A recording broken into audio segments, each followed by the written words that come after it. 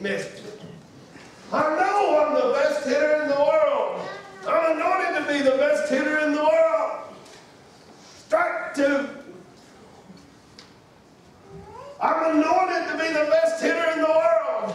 I know I am. I'm anointed to be the best hitter in the world. I know I can do it. Strike three. Little boy shouted, Praise God! I'm anointed to be the best pitcher in the world. Amen. You think about it, it'll hit you. Amen. What a joy to be together. Amen. Amen. What a joy to know the Lord. As I preached here last week, if you missed it, you go on YouTube and watch it. You missed the blessing. Amen. I preached on the horn. Amen. The anointing. I preached on the sword of the Lord and I preached on the white robe. Amen. Oh my, what a powerful message and anointing fell in the house of God. But amen, we can't move on last week's anointing. We can't operate on yesterday's anointing. We have to work on today's anointing. Amen. Amen. If you got your Bibles, say amen. First off, I want you to say this. Read this. Fresh oil from heaven Jesus, I pray for a fresh anointing on all my life and on my walk and on my calling. That's what each and every one of us needs in here today. We need fresh oil. We need a fresh anointing in our lives. Amen. We need God more now than ever. You need Him in your life. Oh, praise God. We see in last week that Saul, he was rejected as king. David was anointed as king. We see, amen, that so many people here today, I can feel, are living in the past. You're letting your past hold you back from your present and from the future that God has for you.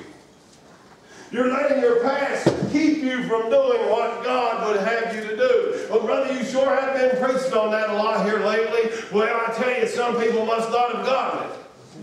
Because God has just kept leading me back to that thought, amen.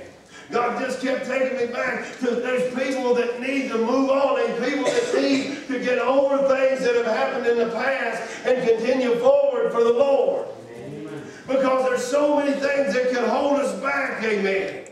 Oh, who's got something holding them back? A few of us? All right. Hopefully today it won't be, amen. Hopefully today you will get past it, amen. Praise God. Let's all stand.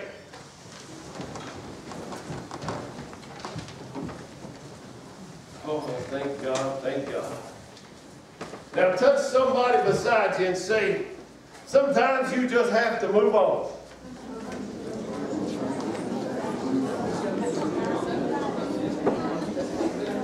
Amen. Thank God for being born again and spirit filled. Thank God for what He can do for us. Amen. If you got your Bible, turn over to 1 Samuel chapter 16. 1 Samuel chapter 16. I just need a starting point this morning. This may sound a little familiar, but may be the shortest message I've ever preached. And the church said, Amen. but then again, it may not be. First Samuel 16, go get a reading in verse number 1. Turn around and shake somebody's hand. Let them know you're glad to hear this morning. I'm glad everybody's here. I thank God for each and every soul. Thank God for our visitors. Thank God for those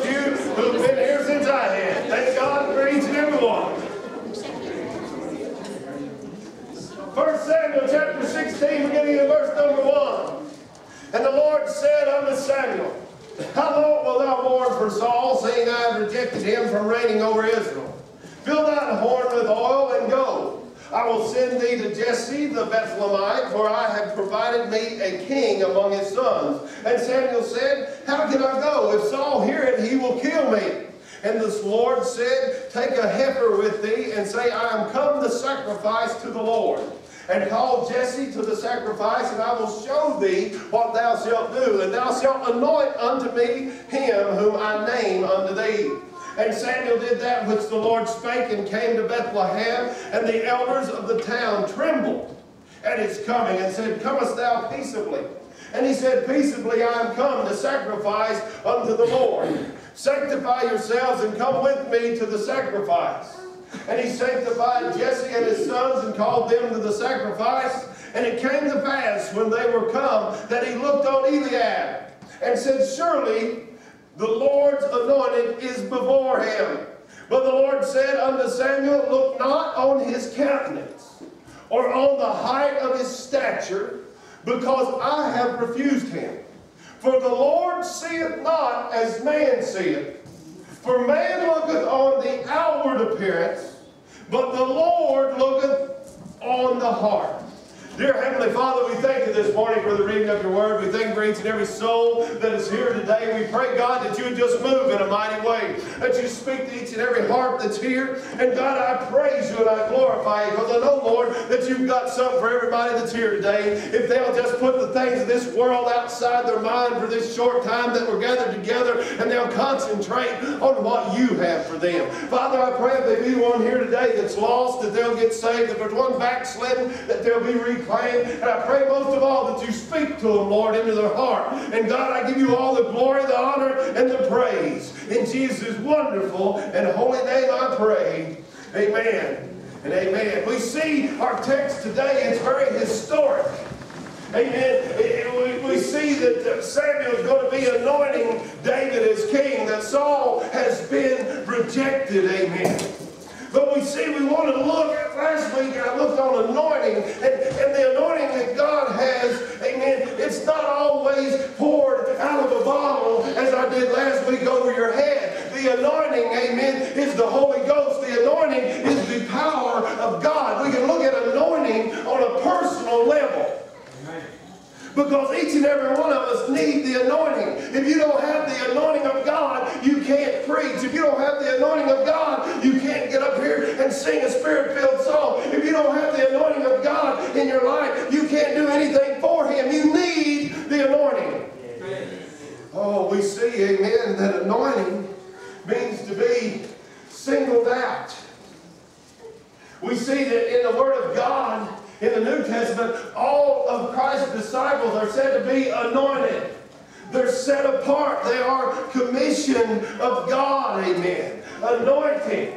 We see the anointing. 2 Corinthians 1, 21, Now he which established us with you in Christ hath anointed us is God, who hath also sealed us and given us the earnest of the Spirit in our hearts. Thank God. Now he who establisheth or has established us in Christ hath anointed us is God. God is the one that anoints you. God is the one, amen, that establishes us in Christ. God is the one, oh my, that all the power from above comes from. Amen. God is all powerful. I thank God that He is. But He has sealed us and given us the earnest. That word earnest there, it means He's given us the down payment of the Spirit in our hearts. Jesus said he would go away, but he would not leave us comfortless, and he would send a comforter. And thank God that God sent a comforter through the Holy Ghost. He sent us the Spirit. Amen. He sent us that down payment. He sent us, amen. Oh, wow. The, oh, the down payment of the Spirit, the earnest of the Spirit, which is, means a pledge. Amen. Thank God that He's given us a pledge. He's given us the power of the Spirit of God to get through the things that we have to go through in this life. We were talking in Sunday school. How would you have gotten through many of the things you've had to gone through in this life without the down payment, without the earnest of the Spirit, without the Holy Ghost? You couldn't. How could you get through all the things you've had to lose in life, the suffering, the pain, the sadness, without the Spirit of God, without the power of God? Amen. We have been set apart for God's service. If you are one of God's anointed, if you're saved, amen, you have been set apart for God's service. Thank God that you have, amen. Thank God that you have. We see that there is a whole lot required out of us. If you've been set apart for God's service and you've been saved, the Word of God tells us, amen, for unto whomsoever much is given, of him much shall be required. And to whom I have committed much of him, they will ask the more. We see that much has been committed unto us. We see the blood of Jesus Christ, the earnest of the Spirit, if you're saved, has been committed unto you. You have got him dwelling in you. There's a lot required because much is given, much is required. People will expect a lot out of you, will they not?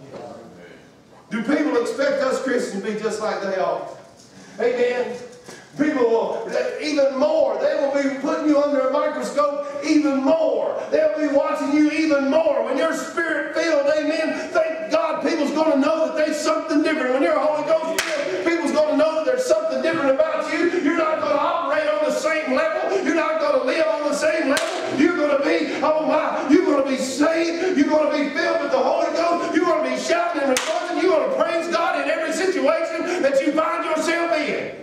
Because it takes a spirit in order to do that. Amen.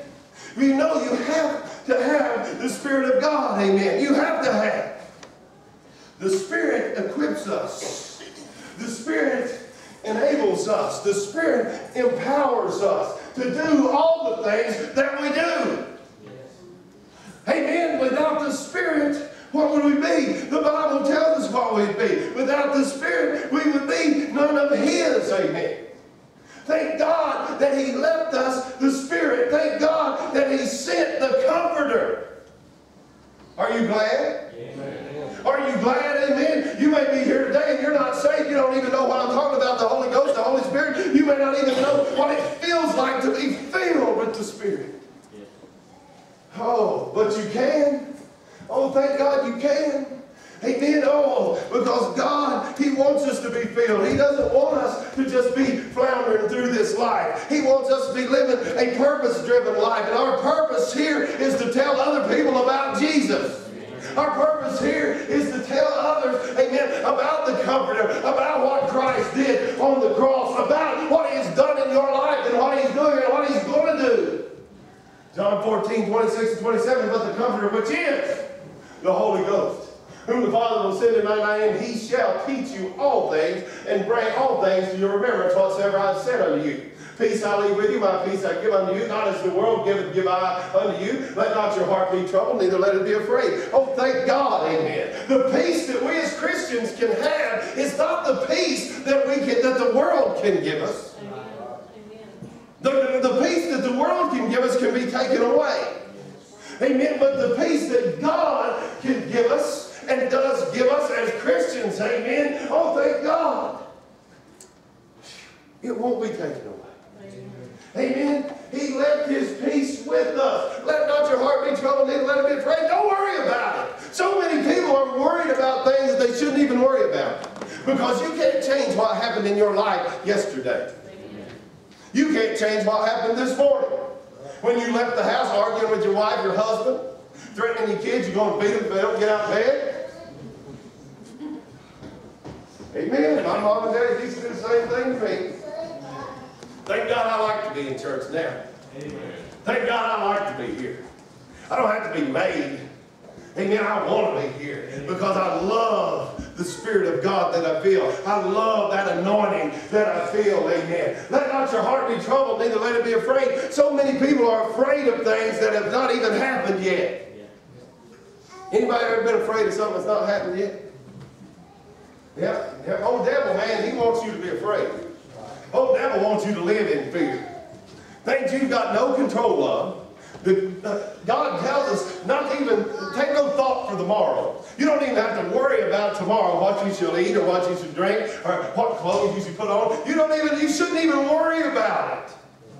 Tomorrow may never come because we don't have the promise of tomorrow. You don't let your heart be troubled, neither let it be afraid. But when you're filled with the Spirit and have the Holy Ghost dwelling in you, amen, you Oh, I'm glad that He's got the whole world in His hands.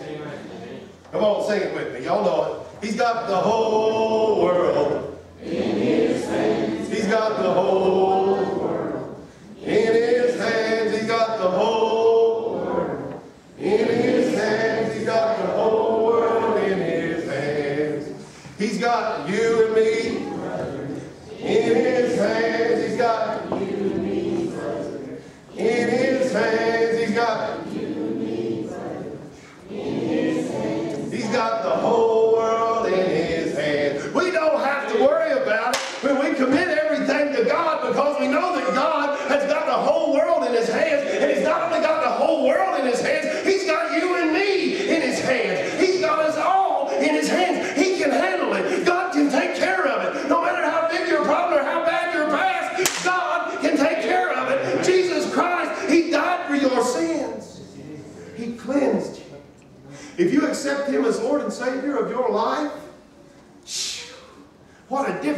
makes. Amen. It changes you. It says, the Bible tells us, behold, old things are passed away. All things have become new. That stuff that you thought about worrying you so much, that stuff that has kept you from serving God, that stuff that has kept you from coming to an altar and getting saved, that stuff in your past that everybody reminds you about, God's forget about it. You accept Jesus Christ, He's done forgot about it. It's forgotten as far as the east is from the west. As long as you're going east, you're always going east. As long as you're going west, you're always going west. It's forgotten. Under the blood of Jesus Christ. Why in the world do we let the devil keep bringing up our past? Why in the world do we let our past keep worrying us the way that we do? Anybody let your past worry you? Amen. People, oh, I've done so and so wrong. Well, I've done so many people wrong, I can't even remember them all. That's why I don't even care anymore. The past is past. God forgive me. Amen. You look at somebody who wasn't always a preacher. You look at somebody's a drug dealer. You look at somebody who wasn't very nice. You look at somebody that stayed drunk all the time. You look at somebody, amen, that, oh my, I thank God I can stand here and say, I've been born again. I've been spirit filled. I've been saved by the blood of Jesus Christ. Now, my past don't bother me anymore. People may throw it up in my face, but it don't bother me because it's under the blood. Amen. What I was is not what I am, and it's not what I'm going to be. Amen. Thank God. But we let the devil keep us in the past so much. You know, because people won't ever forget, will You remember that time? Oh, that's some of the worst words. You remember that time when we, I do, but let me tell you about that time that I come to know Jesus. I do remember that time, we, but let me tell you about Jesus. Oh, my, that makes all the difference in the world. Amen. We need to be spirit filled. We need to be equipped. Amen. Because the Word of God tells us that, guess what? If you don't have the Spirit, you're not His. Romans 8 9 tells you that. But ye are not in the flesh, but in the Spirit, if so be that the Spirit of God dwell in you. Now, if any man have not the Spirit of Christ, he is none of his. If you're saved, if you're claiming salvation, amen, we see, but you're not controlled, the NLT says it, but if you're not controlled by your sinful nature, you're controlled by the Spirit. If you have the Spirit of God living in you, and remember that those who do not have the Spirit of Christ living in them do not belong to Him at all. If you don't have the Spirit in you, then you don't belong to Him at all. You get saved, you've got the Spirit. You've got the indwelling of the Spirit. But how many of you have gave everything to God? Who's holding on to things? I don't even, I don't even raise your hand. There's people that hold on to things. Amen. God doesn't want just the parts you want to give Him. God wants all of you. God wants you to surrender all. You say, well, it's baptism of the Holy Ghost. I, I, hadn't even so much heard of it. Well, I tell you, hearing about this, baptism of the Holy Ghost, the evidence of speaking in tongues, that's something we believe in, amen. That's a real thing. It's not just something people talk about. Amen. That's something we believe in. Amen. Oh, thank God, amen. Because if you have not the Spirit, you're not of His, but have you gave everything to Him? A lot of people, as I said here the other night, you don't want to pay the price of Pentecost. You don't want to pay the price to receive the baptism of the Holy Ghost. You don't want to get rid of the things that you're holding on to that's becoming between you and the fullness of Christ. Oh, amen, brother. You don't want to give up that sin that you're secretly holding on to. It's not secret, by the way. God knows it. Why do you think you've not experienced the full blessings of God? Amen. That bitterness you're holding on to, that addiction you're holding on to, oh, that sinful thought life you're holding on to. Amen. Have you gave yourself completely and fully to God? Do you even want the anointing that God has for you? Do you even want the Holy Ghost? Do you want to be filled up? Do you want to be running over in the Spirit? Or are you happy just sitting here playing your part one day a week? A lot of people are. A lot of people are. But I want the fullness of God. I want everything that God has for me. Amen. You only want part, you want to be, who in here wants to be partially blessed? Who in here wants to be fully blessed? Well, it takes full submission unto God to be fully blessed. If you're not doing what God commands you to do, then you're not going to be fully blessed. Amen. Oh, we see we have to have the Holy Ghost to function. 1 John 2 and 20, but ye have an unction from the Holy One, and you know all things. I have not written unto you because you know not the truth, but because you know it, and that no lie is of the truth. We see an unction. There's so many people that are trying to function without an unction. Unction means an anointing. Unction means the Holy Ghost anointing.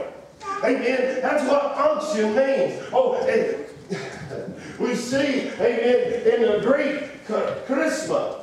Amen. We see that we get our word charismatic. We get our word from that. It's an unction or a spirit, a special endowment of the Holy Spirit, an anointing.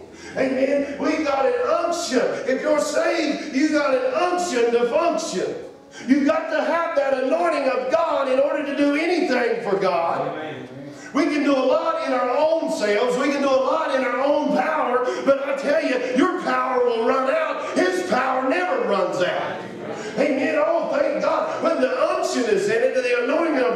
It, it will succeed.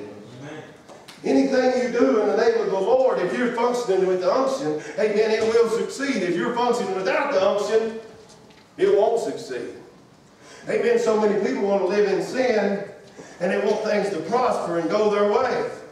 Well, if you're living in sin, that's not what the Word of God says. Go back and read Psalm chapter 1, verse 1 through 3, 1 through 6, and you'll see exactly how God ordained things.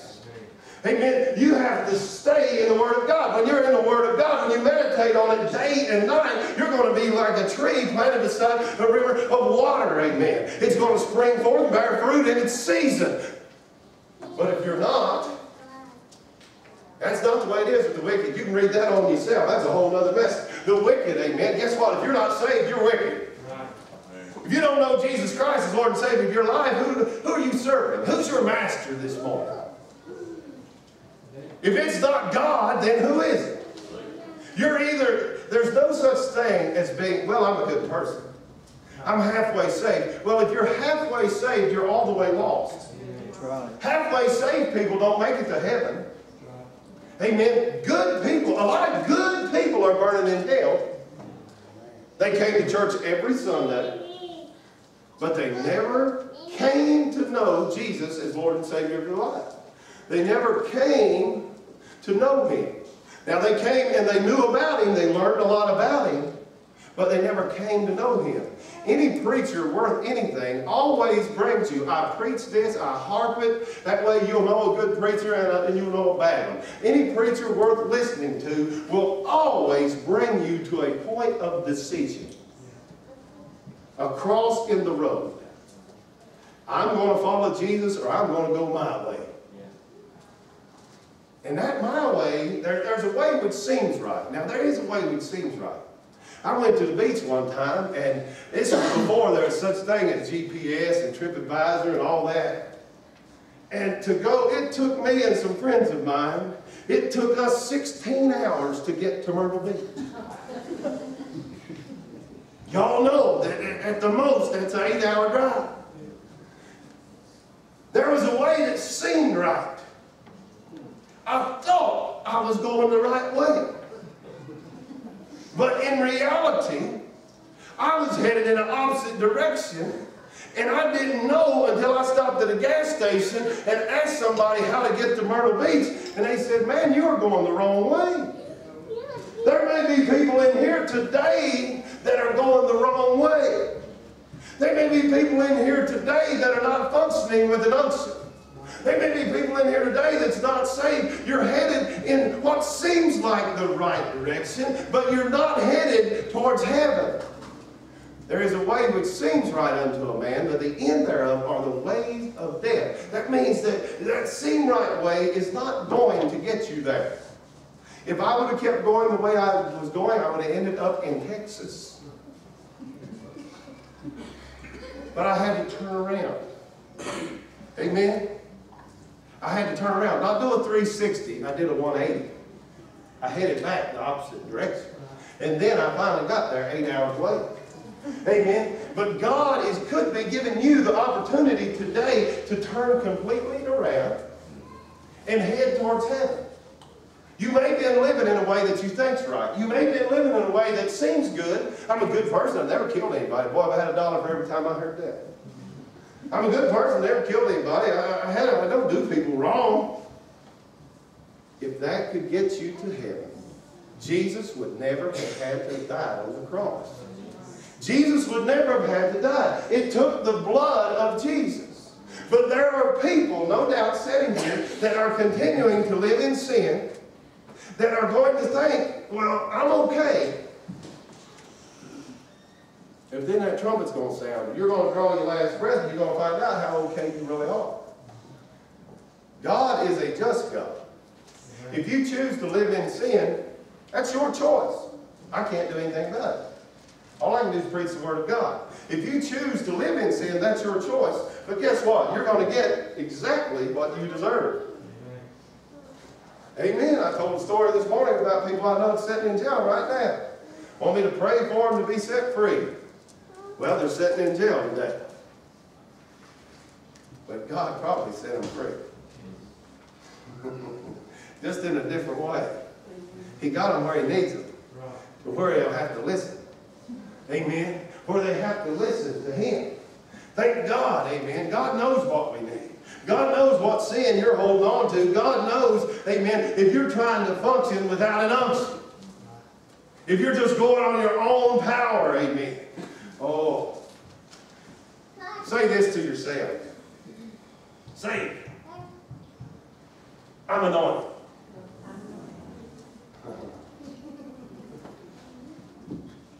Boy, if that's all the people in there, let me put it another way. Even if it's a lie or not. Say, I'm anointed. Oh, that sounded bad. Say, I'm anointed. I'm See, now God anoints you to fulfill what He has you to do. Amen. It feels good, doesn't it, to say you're anointed. But just imagine if you really are anointed, it feels even better. Amen. When you're really anointed of God and you get excited about the things of God and you're ready to charge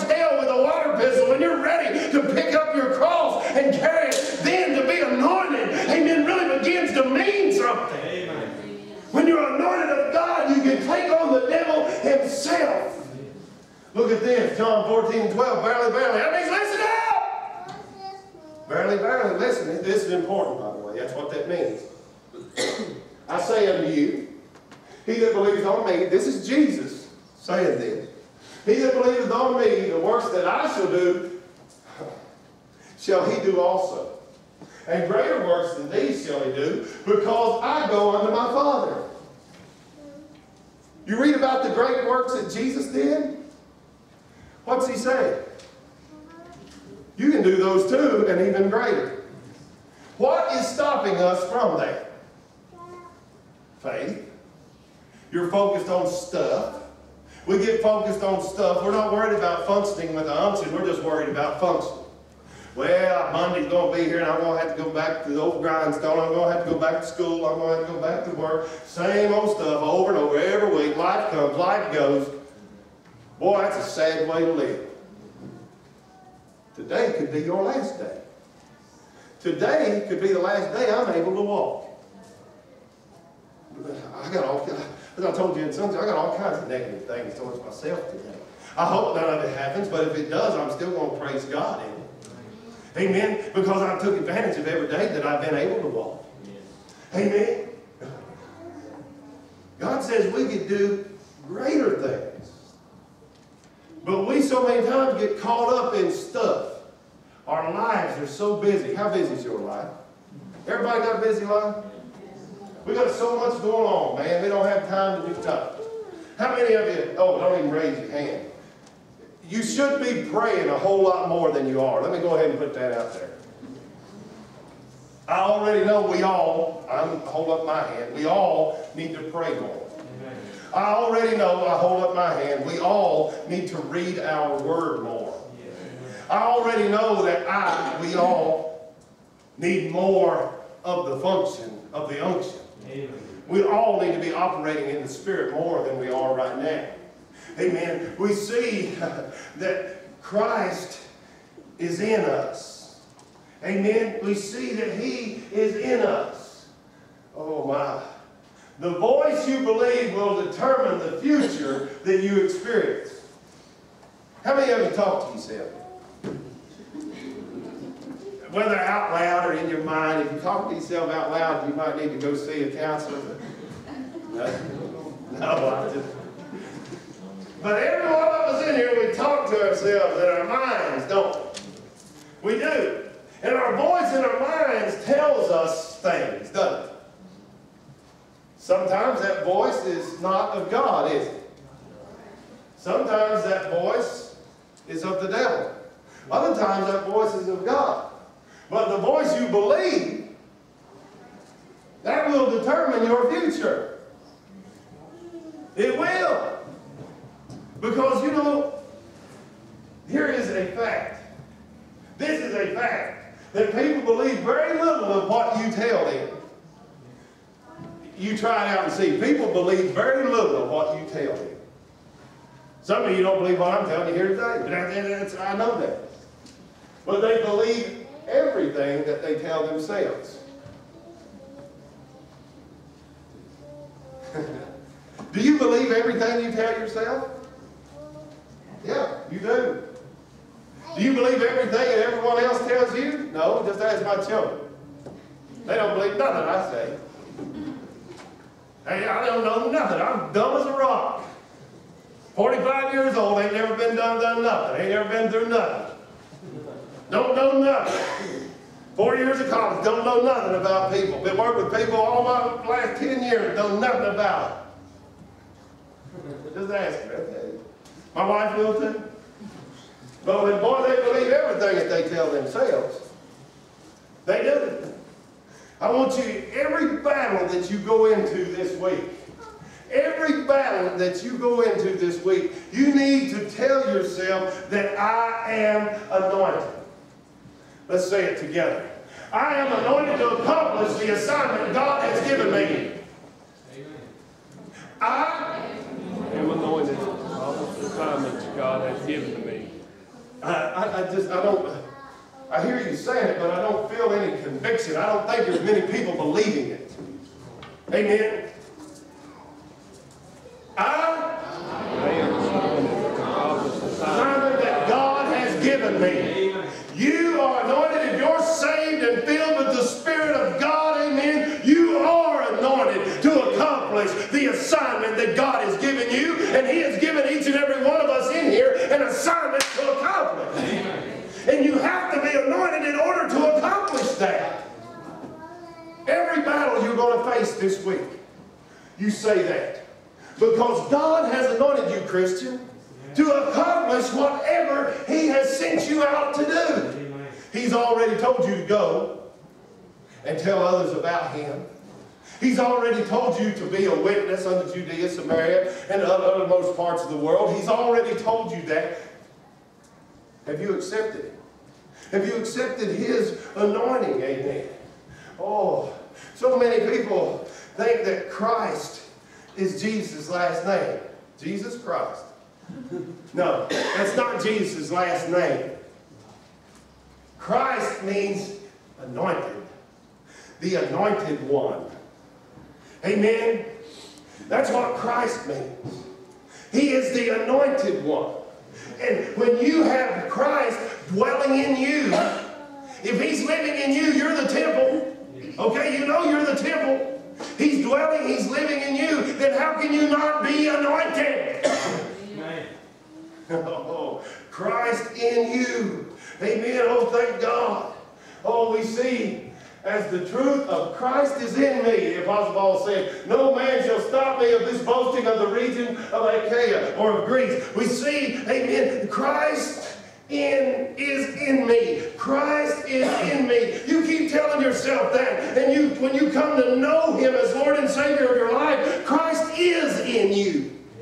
Nothing can stop you because greater is he that's in me than he that's in the world. There's nothing that can come against you. It's going to come against you, but there's nothing that can beat you. Amen. Oh, thank God.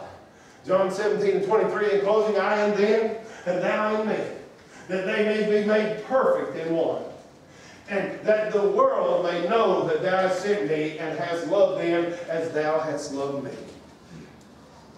I in them, Christ, that's not Jesus' last name, Christ, I in them and thou in me, that, that, that they may be made perfect in one. With Christ, we can do great things. Amen. Many of you in here, how many of you got a Samsung Galaxy? I'll answer it. I got one. You remember how you, I remember you, me and my wife, when first got phones just like all twins. They were so sweet, honey. But uh, we, you bump your phones together and you can share information. You know? And you people that are eye slaves, it's got eye everything. Amen. You got this thing called airdrop now. And, and you can share information with the people that, that you want to. You know, you got to go through and you pick who you want. So, you know, I can turn my phone on. I can pick up everyone whose phone. You got Bluetooth on, I know it. I can share things with you. But here's the key, amen. With airdrop and with bump. Bump technology can be downloaded on anything now, by the way. But you've got to be close enough. It'd be hard for me to share information with JC. He's too far away. See, he's not receiving. But, but you see, you've got to be close enough with bump technology or with airdrop. And you know, that's the same way it is with God. You've got to be close enough to Him. If you want to get a message from the Lord, if you want to get the unction or the anointing from God, you have got to be close enough to Him so that He can share it with you. Oh boy, it's getting a little too deep now. I better lighten up a little bit. But the Word of God tells us in James 4 and 8, 8 draw nigh to God. Get close to God. And He will draw nigh to you. He will get close to you. Cleanse your hands, you sinners, and purify your hearts, you double-minded. If you're living in sin today, amen, you need to cleanse your heart. You need to wash your hands. Where are you going to do it? You're going to do it right here on this altar. Amen. Maybe you're not receiving anything from God. Get closer to Him. Bump Him. Say, God, I want what you got. He'll transfer him power. to boom, he'll boom. Ah. He'll, he'll, you got to be close to him. You've got to be close to him. That's what we all need to be. We need that personal relationship with Christ. We've got to be close. Brooke, if you'll come, the piano musicians. We've got to be close to him. Well, brother, you didn't even preach any of your cakes. Oh, yeah, I did. You want the anointing? You have to be close to Christ. You want all that God has to offer? You have to be close to Him. Amen. It doesn't matter what you look like in here. Look what God said. He's not looking on the outward appearance anyway. He's looking on the heart. Too many people are caught up. Oh, that's a whole other mess. Too many people are caught up looking on the outward. God's looking on the inward. God's looking on the inside. He's not looking on the outside. He knows your heart. Some of these old Harley riders that was on that motorcycle ride yesterday, I bet they might have looked rough, especially after that long ride.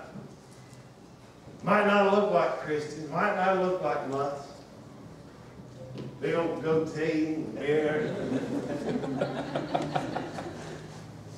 but to God, how beautiful soul is. God's looking on the heart. We judge people so quick.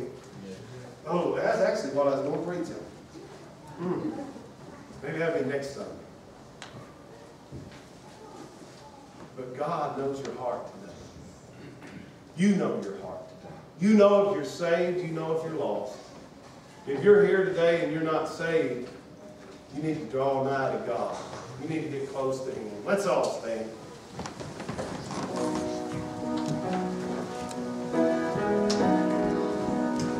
If you're here today and you don't know Jesus, you need to come to know Him.